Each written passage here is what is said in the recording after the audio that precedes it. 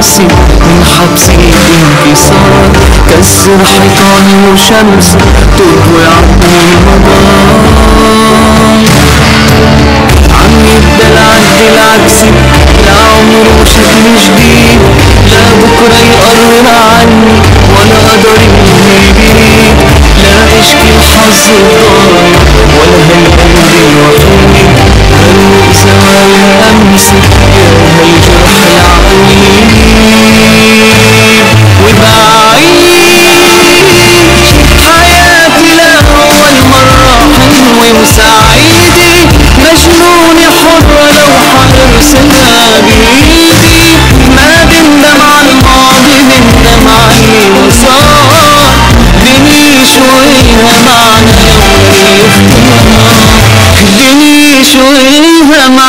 لولا الاختيار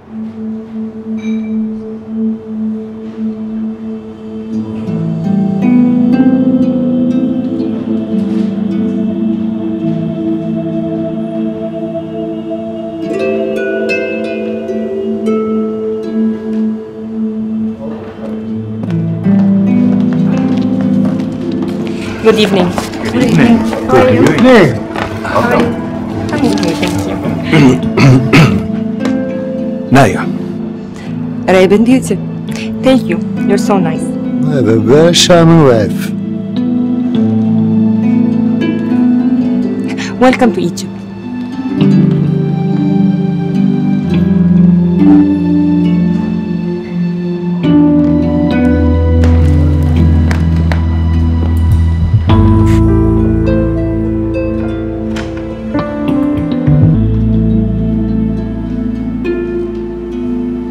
عاصم عاصم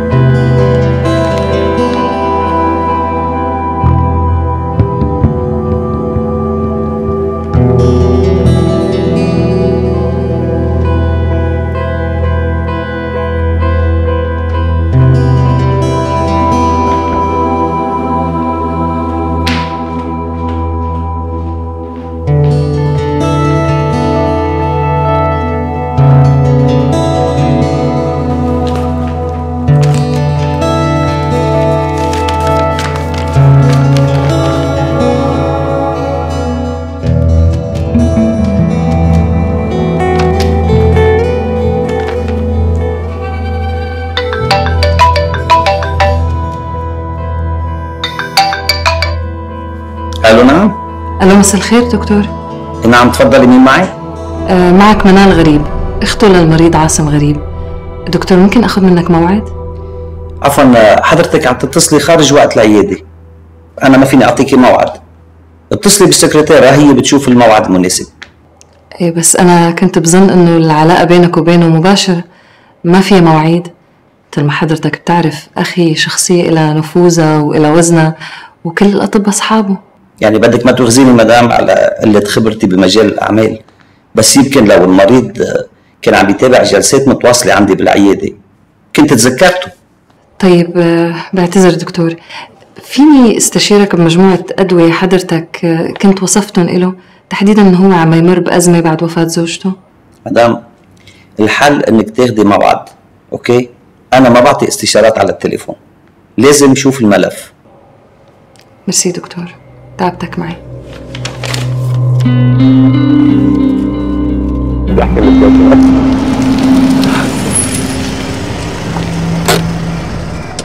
ميرسي على العشاء على فكرة الجماعة طلعوا كتير مهضومين. ميرسي على حضورك. عايز أقول لك أنت النهارده عملتي جو يجنن الناس حبوكي قوي أنت عملتي فيهم إيه؟ عملت واجبي. طب بقول لك ما تيجي معانا بكرة شرم الشيخ؟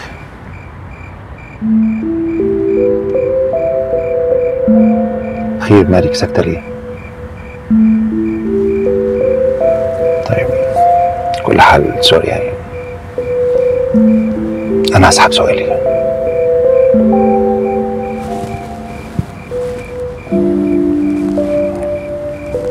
مش فاهم يعني. متعتقدش ان طلبي. يضايقك ويقلب مودك بالسرعة دي. نهاية في حاجة مضايقاكي؟ أنا معرفهاش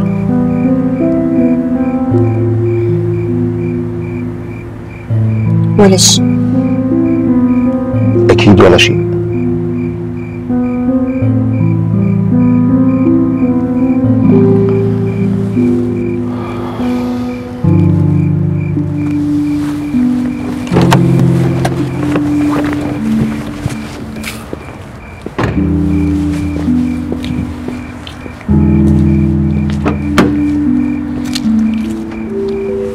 يا دوب تلحقي تنامي.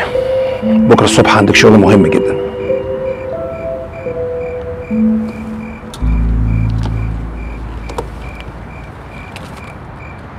زعلت؟ عادي. بس أنا بقى مش مرتاح للمزاجية الغير مفهومة دي. ولو هلا هيك طلع معك بالآخر. أنا مزاجية؟ هو في إيه؟ أنت ماسكها الواحده ليه؟ مش موضوع مزاجية يعني بس أنا عايز أفهم برضو ليه ال mood اتقلب مرة واحدة كده؟ ومن غير أي تفسير. المفروض إن أنت إنسانة ناضجة مش بتاعت حركات. شي كتير حلو. مزاجية وبتاعت حركات وقبل كده هبلة ومجنونة. شو كمان؟ الله. تجرى لك إيه بالظبط؟ ما إحنا لسه كنا مع بعض وكنا كويسين وكان ال mood حلو ومهايبره كده ومتحمسة. وعاملة جو حلو في القعدة. الوالد الألماني كله حبك. على فكرة من حبهم فيكي أنا عرضت عليك إنك تيجي معانا شرم الشيخ. ده خلاف طبعا إن أنت عندك خبرة في المشاريع دي بالذات. يعني وجودك بصفة رسمية. ما أنتيش طالعة سياحة. وهيدا الشي رح يزعل نهى ولا لا؟ لا مش هيزعل نوع ما في اتنين بيختلفوا على إنه نهى بتغار عليك. حتى لما تعشينا مع بعض عرفت وسمعتني حكي. وبصراحة خوفني منك. والله. ممكن أعرف بقى إيه اللي اتقال بالظبط؟ بس توعدني ما تجيب لها سيرة وأنت بكلمه عيل صغير احكي إيه اللي اتقال؟ قالت إنه أنت عم تتبع معي نفس الخطوات يلي اتبعته معه. يمكن هي متأملة فيك. يمكن مفتكرة إنه أنت وعدها بشي. وهلأ عم بتحس إنك عم تتخلى عنه. ده بقى سؤال ولا تحليل؟ عم فسر مشاعره.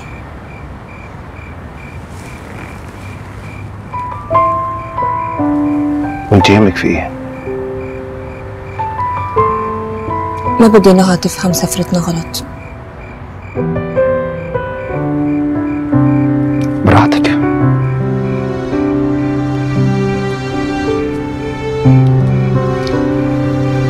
تصبح على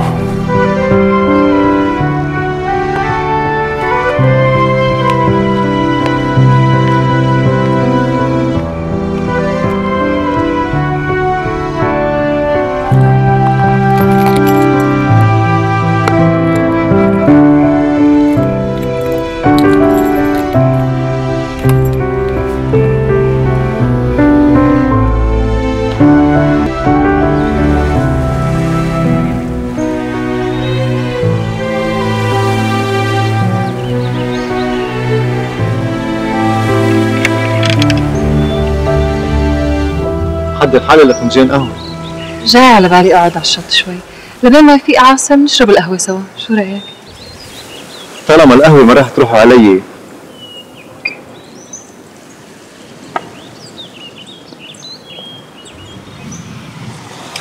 كيف ملاقيتي لي عاصم؟ امبارح حكيت مع دكتور النفسي والله يا جبران عاصم كل ما عم يتراجع. صار بحاجة لتدخل من دكتور. كيف؟ أنا كنت مفكر إنه بس مايا هي اللي بتروح لعند الدكتور. أو على الأقل اللي متأكد منه إنها كانت تاخذ حبوب مهدئ. معقولة يكونوا عم يشوفوا نفس الدكتور؟ وارد كتير لأنه علاقتهم كان بلفها بعض الغموض. sorry عن جد sorry منال يمكن أنا ما إلي حق أحكي عن هذا الموضوع. بالعكس بالعكس جبران أنا بدي أفهم. أساسا أنا تقصدت أفتح سيرة الدكتور النفسي قدامك. قلت يمكن. يمكن بحكم الجيرة تعرف أي معلومة؟ ممكن تفيدني كيف بدي ساعد عاصم؟ مني ما رح تستفيدي كثير لأنه مثل ما سبق وخبرتك إنه أنا كان صار لي زمان بعرفهم. بس من الجلسات النادرة يلي قعدناها سوا قدرت كون انطباع مش أكثر اللي هو؟ علاقة عاصم بنايا هي علاقة تملك علاقة استحواذ. يعني عاصم كان بيتمنى إنه نايا ما تحكي مع حدا أو تشوف حدا. والجلسة الأخيرة على البوت. خلتني أكتشف هذا الشيء أكتشف نوعية العلاقة اللي بيناتهم. شو اللي صار؟ بالأول بلشت القصة على أساس إنه هم تاركين البلد مسافرين. نحن هيك تعاملنا مع الموضوع على إنه رحلة وداع بحرية باعتبار إنه أنا اللي أعزمهم. ترى لا انه كانوا عاملين تمثيلية حتى يغطوا فيها طلاق. طلاق؟ إيه. هذا الطلاق كان مطلب طرف واحد بس. طرف أكيد لما انكشفت الاوراق خلى كل واحد منهم عن قناع البرستيج الاجتماعي. مشهد. مشهد ما راح انساه كل حياتي. لأول مرة بشوف مايا هالإنسانة رقيقة ناعمة بهيدي الشراسة. كان بدها الطلاق بأي شكل حتى لو كلفها هالشي حياتها. وهيدا اللي صار هالشي خلى عاصم يتحول من إنسان راقي أنيق عنده هيبه ل- ل- لحدا حدا شو؟ ولا تنحرج جبران صار يتلفظ بألفاظ غريبة. ما بتليق ابدا بشكله الخارجي. عاصم. غريب. غريب كيف موقف واحد بحياة الإنسان ممكن يحوله لشخص ما بتعرفيه تصوري؟ هجم على رفيقة مايا وضربها قدام جوزها بس لأنه كانت عم بتدافع عن حقها الطلاق. منيح ما رفعت دعوة عليه مع إنه كان فيها. هي محامية. بس مجرى الأحداث راح لغير محل. ومحل مأساوي كتير. خلى هالحدث البسيط التافه. يكون من شيء قدام الانتحار فيني أتعرف عليه؟ ليلى بعد ما تمرق على العدلية بتمرق على محكمة التمييز. بتجيب معك جدول مواعيد الجلسات التالية خاصة بهالقضية بالذات. حاضر. ما بدي ولا ورقة تنقصها ولا طابع ولا ختم.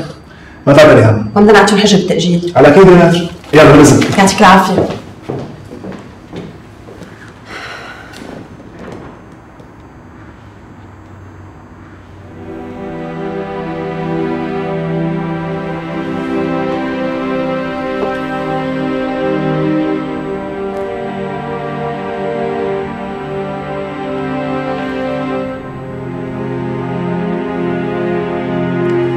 صباح الخير دكتورة ندى. صباح النور مدام ليلى.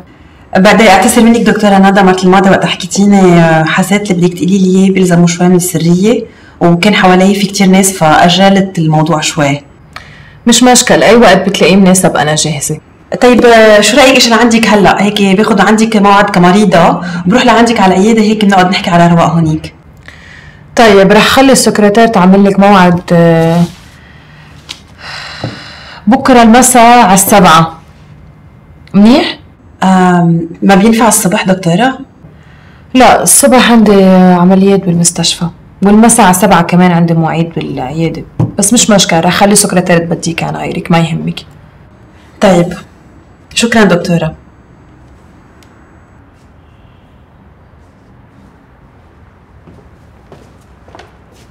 شو عم تعملي يا محتاجة؟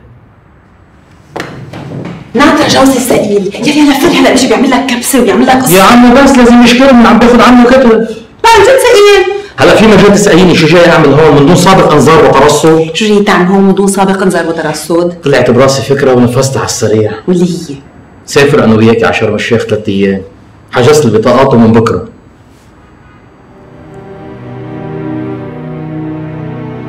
شو صار لي؟ طيب والولاد بيقعدوا مع أهلك شو أول مرة؟ بس فارس عندها شغلة كثير كمان. موظفينك شو عم يعملوا بشرفك يعني؟ طب حبيبي ما بينفع نأجلها كم يوم؟ من عندي هيك كم شغلة بدي اخلصهم حتروح رهجتها صراحة ليلى يعني. وانت تعرفين إنه بغير رأيي بسرعة. يمكن تروح لسنة القصة. بس قرر يعني مثل ما بدك أنا رح أزعل كثير إذا أجلناها. بتعرفي؟ زعلت سئيل قلبي تخلق أو بوز. شو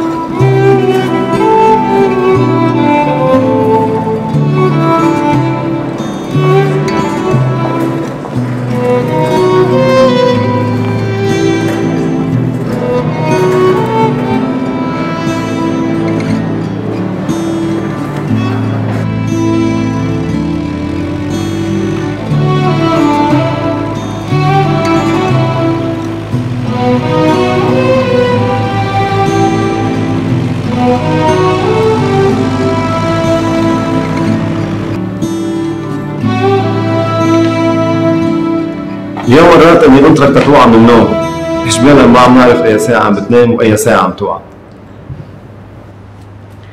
أهلا تفضل. أه وأنا ما كنت أرضى أعمل قهوه قلت لحالي نشربها سوا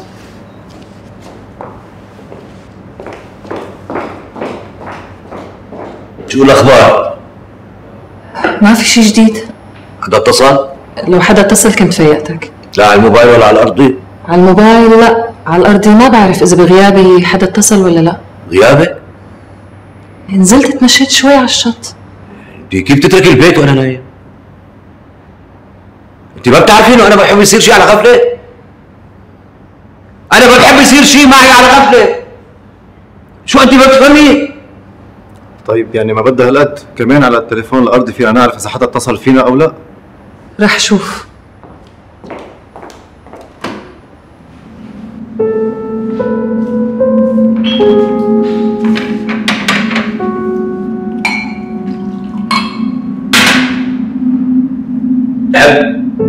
لا شكرا.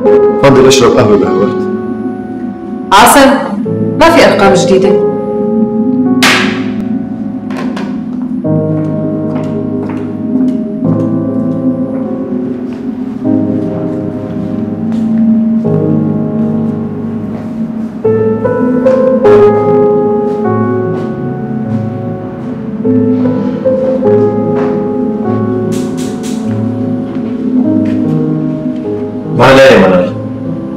نطول بالنا ما عندي شيء أعمله هون غير إني طول بالي.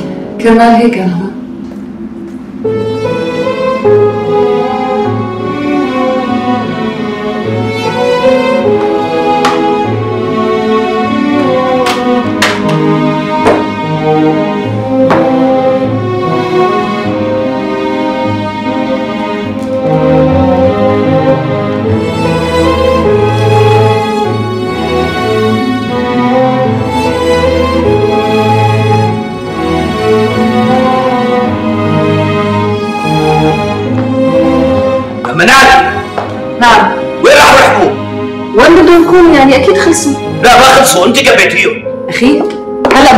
الصيدليه بجيب لك غيرهم. ما بيمشي الحال بدرجتها أنا رح جيبهم بنفسي.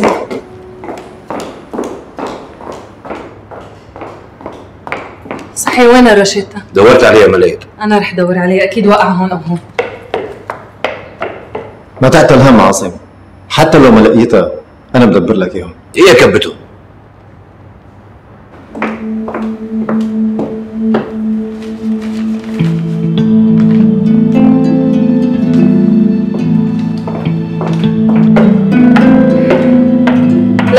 روشيتا هي هي؟ بلا هي أعطيني إياها لكان. كيف بدك تروحي؟ مفاتيح سيارتي فوق رح أخذ سيارتك. أنا باخذك بسيارتي يمكن أسرع. معلش جبران خليك أنت مع عاصم ما رح أتأخر. شكلها القهوه ما بدها تصير. كل شيء بيصير. بس إذا الواحد بده. يلي بوي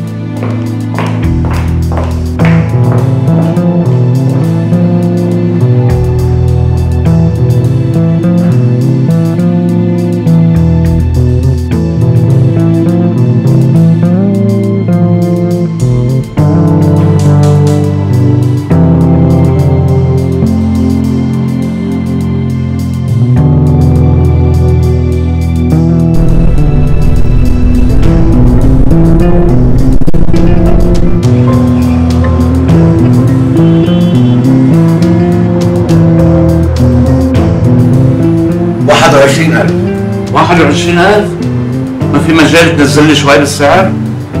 عم هذا الدواء بتيجي تستعيده من الدولة أنا ما إلي خطة. عمي كمان يعني معقول هيك الله يساعد الفقير. طيب ليك حكيم اذا اذا اذا لغيت هذا قديش بيبقى لك ما معي؟ فيك تستغني عنه هذا الدواء لازم تاخده مع هيدا. طيب وإذا هذا بلا هلأ خليني أشوف طلب المدام بالأول وبعدين شرع لي. تفضل يا مدام. تفضل. هي روشيتا للأستاذ عاصم غريب. عاصم الله يكون بعونه. تاثرنا كثير لما سمعنا الخبر. حضرتك أخته للأستاذ عاصم؟ تعرف حضرتك؟ إيه كيف ما بعرفه ولو حبيبنا الأستاذ عاصم ما أنا اللي باخذ لهم الخضرة والفواكه من مزرعتي. بتشرعنا على حق الدواء عندك مزرعة؟ مزرعة بالاسم مزرعة. انجا عم بتشيل همها يا حكيم.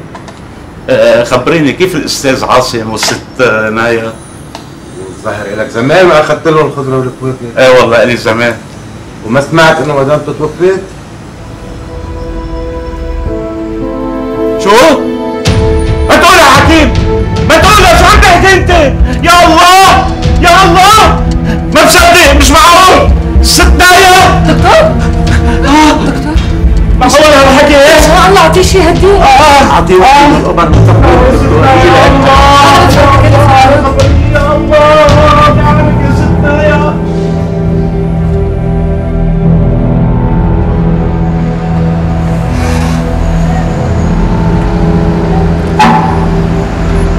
كتر خيرك يا بنتي؟ أنتوا كلكم بالعائلة خير وبركة. الله يرحمك يا ست نايا تسلم يا عمو تسلم. الله يخليك يا ستنا. إذا راح عند أستاذ عاصم خديني معك أنا لازم أعمل واجباتي معه وحياتك لو عرف ما كنت تركته ولا لحظة. يا عمو ما تواخذني بس والله ما بعرف إذا كان خرج يستقبل حدا ولا لا. لا يا بنتي كيف إذا خرج يستقبل حدا؟ لازم الفيلا تضل مفتوحه العالم بتعزوا الأستاذ عاصم بده يعزوه. ما بصير هيك الله يرحمك يا ستنا. يا الله يرحمك. طيب خلينا نجرب يا عمو تفضل. كتر خيرك كتر خيرك. يا معترة يا ستنا يا يا معترة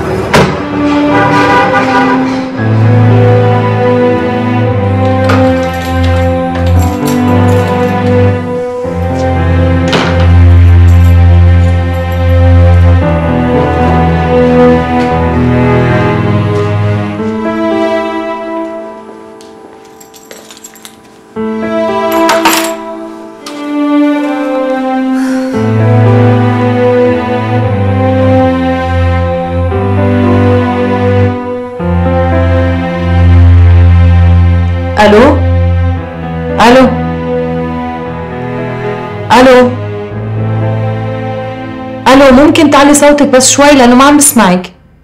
دكتورة ندى؟ آه معك ليلى. دكتورة معلش أنا مضطرة نأجل موعدنا كم يوم لأنه جدت علي سفرة ضرورية. أه، بحكيك لما أرجع من السفر هيك من غير الموعد؟ بنحدد موعد تاني.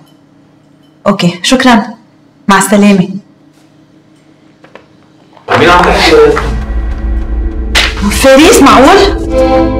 نقصتني بعدين انت من ايمتى بتسألني مع مين عم بحكي؟ سيد كتير سيد بتذكرني بهونيك ناس تعريف؟ شو بك يا ليلى؟ عم بمزح معي؟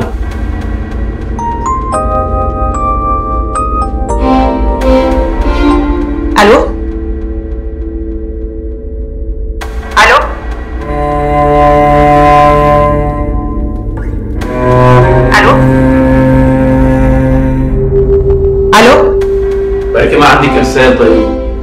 بلا في ارسال بس لا مش معروف. تفضل اذا مش مصدق.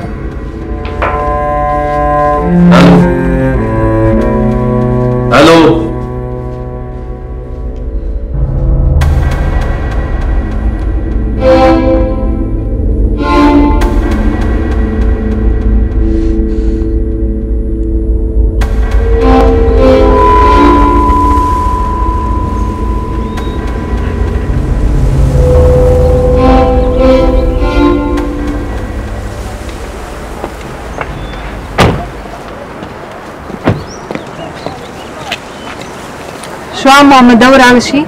لا لا شو بدي ادور بس هيك الزمان ما جيت لهون. طب تفضل. الله يرحم ترابك يا ست ناهد الله يرحمك الله يرحمك. عمو بترجاك ما تبين على حالك كتير زعلان. عاصم ماله متحمل إيش؟ تفضل. الله يرحم ترابك يا عمو شو اتفقنا؟ على مهلك خلص بأمرك. تفضل.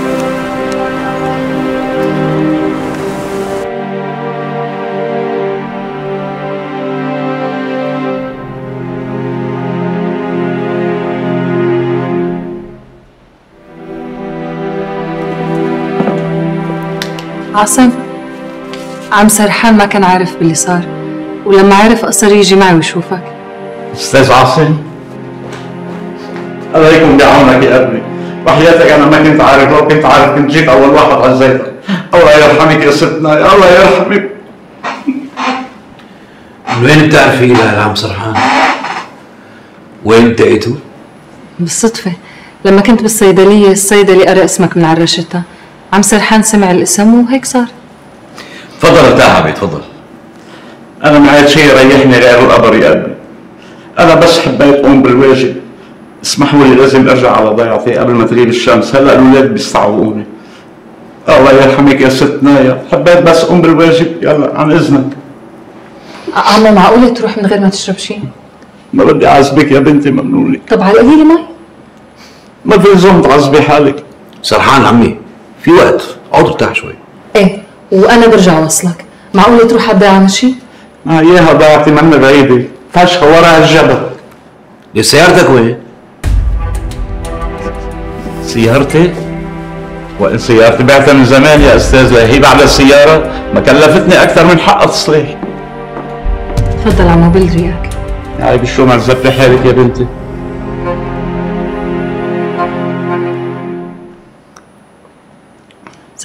ممنونك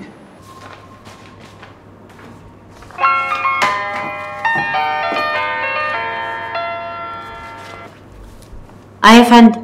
لا انت طمنيني إيه أخبار الشغل؟ الشغل تمام الحمد لله. أدينا أهو في إيديا المراسلات هخلصها وبعد كده أروح. لحسن أنا خلاص وقعت. هموت من الجوع. هو انت لسه في الشركة لحد دلوقتي؟ طبعا يا فندم.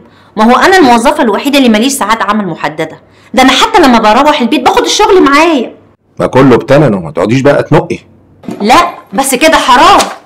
أنا عايزة أعيش شوية عايزة أشم نفسي. أنا لو فضلت كده كتير هعنس مش هلاقي راجل يتجوزني. حبيبتي أنت الأرسام بتيجي لحد عندك. بس أعمل لك إيه؟ ما أنت اللي بتطفشيهم.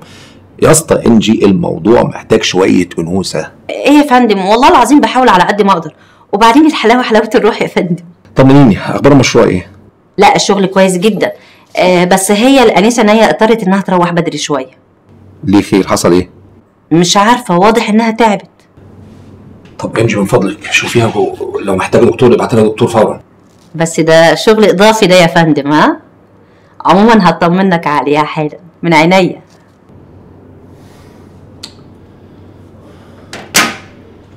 ألو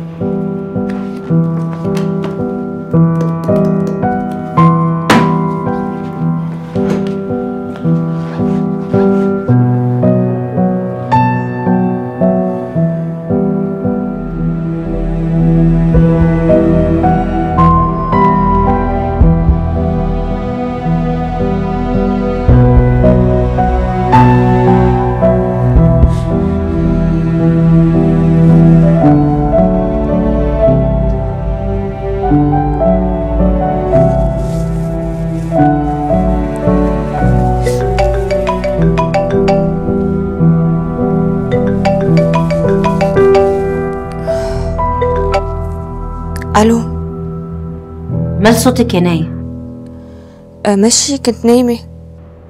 لا ده مش صوت واحدة نايمة خالص. انت تعبانة؟ أجيب لك دكتور؟ صدقيني ما في شي. يمكن تعبانة شوي من الشغل. لا بقى انت كده بقى عايزة أستاذ كريم يطردني من الشغل. ليش شو خصه أستاذ كريم؟ ما هو أستاذ كريم اتصل بيا علشان يسألني عليكي. قمت أنا قلت له إن انت روحتي. سألني ليه؟ قلت له علشان انت تعبانة. راح أمرني إن أنا أتصل بيكي وأطمن عليكي وأشوفك محتاجة دكتور ولا لأ. سلمي لي على أستاذ كريم وتشكري لي ليه على اهتمامه. وطمنيه إنه أنا صرت منيحة بكرة رح أرجع على الشغل وكأني خلقانة من أول وجديد. اللي تشوفيه حبيبتي تصبحي على خير.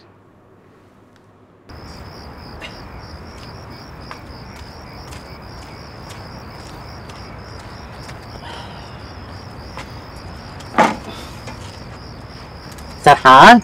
ما بدك تخبرني إيش صاير معك يا سرحان؟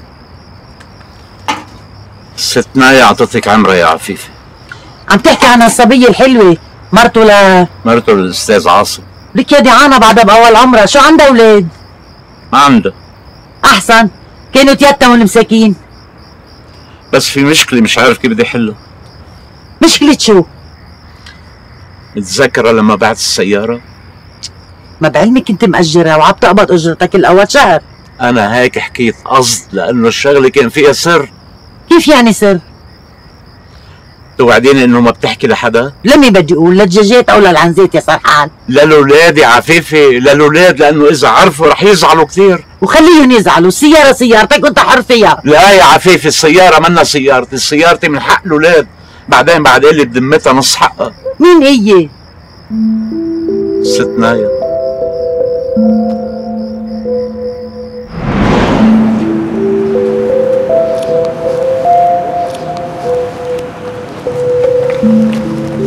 السيارة ستنا إن شاء الله بتتهني فيها. الله يبارك فيك سرحان. مثل ما اتفقنا هالقصة ما بدي حدا يعرف فيها. تفضل.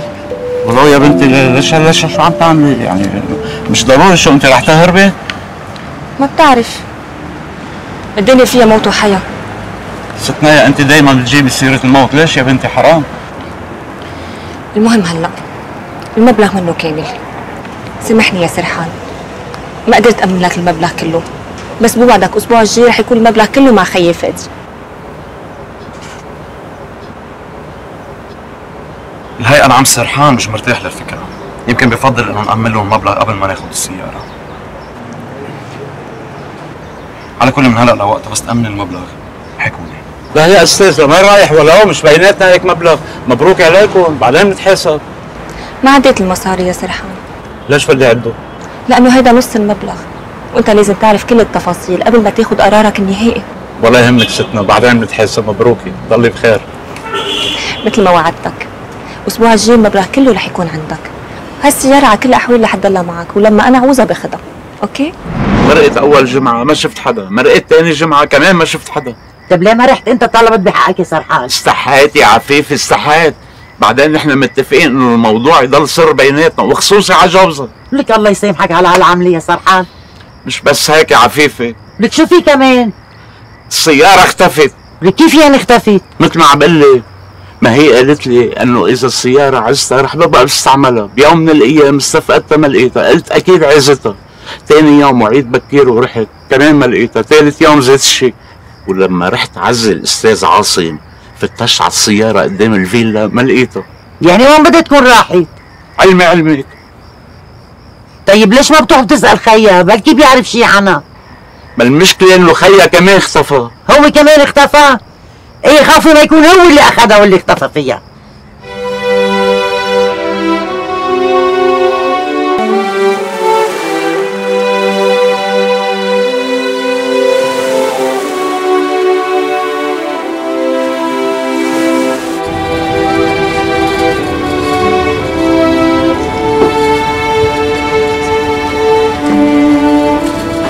مالك يا نهى لا ما فيهاش حاجة يا كويسة. بس ضغط شوية طب ما تروحي. انت لو فضلتي قاعدة معانا كده لآخر النهار هتتعبي قوي. هروح إزاي يعني وأسيب الشغل؟ مش هينفع أما مايا لما تعبت امبارح روحت. ما فيهاش حاجة يعني. مايا دي دلوعة. مش واخدة على الشغل بتاعها. أنا قصدي يعني إن رغم إن المشروع ده مشروعها ورغم إن كل تفصيلة فيه لازم ما تعديش عليها لما تعبت روحت عادي. صباح الخير يا رجالة. صباح الخير. ازيك يا انشي؟ عاملة إيه؟ الحمد لله. انشي أهلا وسهلا. اشتقت لك عاملة إيه دلوقتي؟ صحتك أحسن؟ من وقت ما حكيتيني صرت أحسن. الحمد لله. تعرفي أستاذ كريم كان هيموت لما عرف إنك تعبانة امبارح أستاذ كريم قلبه علينا كلنا في الخير. لا مش كده وبس. ده كان كمان عايزنا اطلب لك الدكتور. لا ما بدها هالقد. يعني بالنهاية كان شوية إرهاق وخلص راح. الأستاذة انجي هنا مشرفانا أهلاً، والله. أهلاً. أهلا أهلا. أعمل إيه؟ أستاذ كريم مصمم ان هو يكلفني بالمهام الصعبة. وبعتني عندكم علشان أطمن على سير الشغل. آه كيف والله ماشي الشغل؟ بتقولوا كده؟ إيه ده نهى نهى اسعاف نهى اسعاف اشلو مالك نهى تعبانه من الصبح قلت لها روحي ما سمعتش كلام يا نهى نهى ألو آه، الاسعاف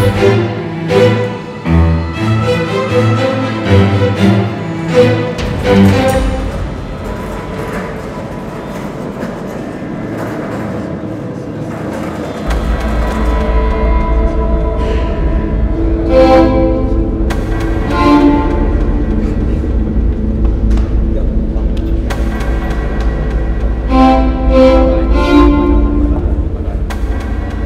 300 110 شكرا. أوكي. بطل على البحر؟ يا حياتي على شرم الشيخ شو لك يعني أكيد على البحر. آه، أقرب سكة من فين؟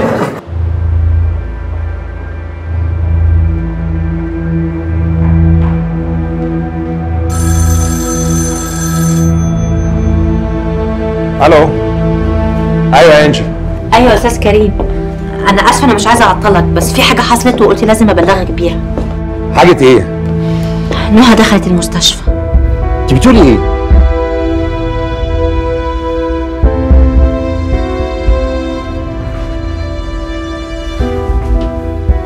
خير دكتور. الانسه نهى ما عندهاش حالة عضوية. كل اللي عندها شوية ضغوط و stress. هكتب لها بعض أدوية ال anti stress ومفيش داعي إنها تقعد في المستشفى. ميرسي دكتور. المهم إنها تبعد عن المسبب الرئيسي اللي سبب لها الحالة دي. وترتاح في البيت يومين ثلاثة إن شاء الله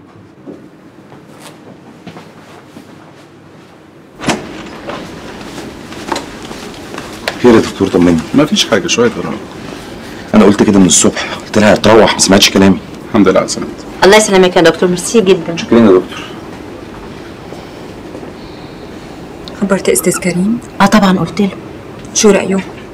طلب مني أدفع مصاريف المستشفى واديها إجازة مفتوحة. شو يعني إجازة مفتوحة؟ يعني تروح البيت وترجع الشغل وقت ما تحب. بس؟ جرايه إيه انت عايزة أستاذ كريم يسيب شغله علشان نهى دخلت المستشفى. معك حق. مش كفاية إنه هتكفل بكل المصاريف. يلا بقى أنا لازم أرجع الشركة. أنا لازم أبقى معها لكن اجت اختها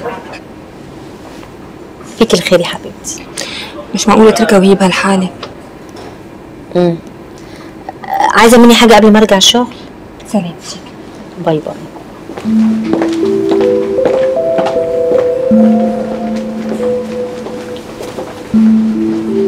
أنجي؟ أي. ما بالك قهوة؟